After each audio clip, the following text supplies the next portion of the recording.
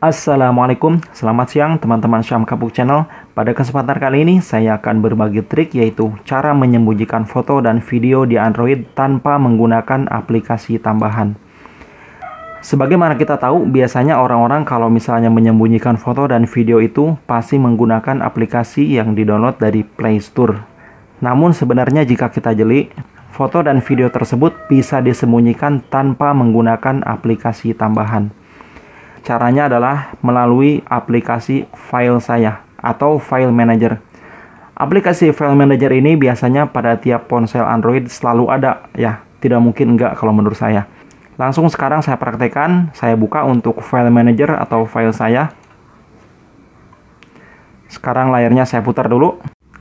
Setelah file manager dibuka, kemudian di sini ada dua pilihan, perangkat saya dan kartu SD.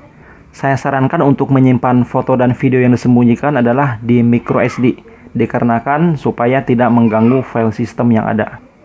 Sekarang kita buka untuk kartu SD. Di HP saya ini ada dua folder, Android dan Desim. Sekarang kita akan mencari file yang tersembunyi di file manager ini. Caranya adalah kita kembali terlebih dahulu. Caranya bisa teman-teman lihat ada titik tiga pada pojok atas kanan video saya ini kemudian buka dan kita masuk ke pengaturan.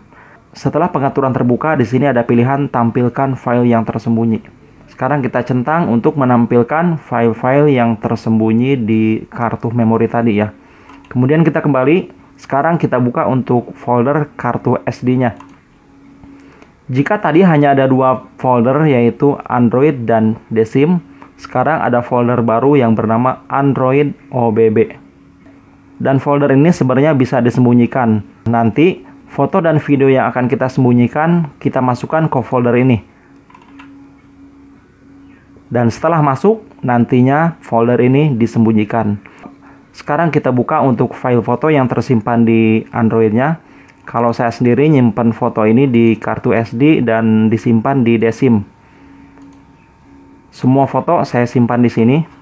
Maka untuk menyembunyikan semua foto ini sangat mudah. Kita kembali. Pada folder desim ini kita tekan dan tahan. Kemudian perhatikan titik tiga pada bagian atas. Dan selanjutnya ada pilihan pindahkan.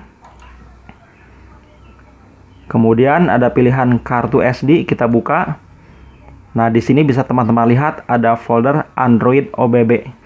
Dan folder ini adalah folder yang bisa disembunyikan. Oke, kita buka untuk Android OBB. Kemudian klik selesai pada bagian atas. Sudah selesai sekarang untuk folder The Sim yang berisi foto dan video ya. Semuanya sudah masuk ke folder Android OBB dan sudah tersimpan di sini. Sekarang kita tinggal masuk ke pengaturan dan menyembunyikan kembali file Android OBB. Kita kembali kemudian masuk ke pengaturan pada titik tiga pada bagian atas Selanjutnya pada pilihan tampilkan file yang tersembunyi, kita geser ke kiri. Sekarang untuk foto dan video sudah berhasil disembunyikan. Teman-teman bisa kembali cek di kartu SD.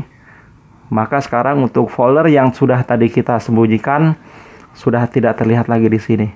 Dan jika ada yang membuka HP kita, misalnya melalui galeri foto dan video, terlihat kosong untuk album, gambar, dan video semuanya nihil alias tidak ada ya. Bagaimana teman-teman? Sangat mudah bukan?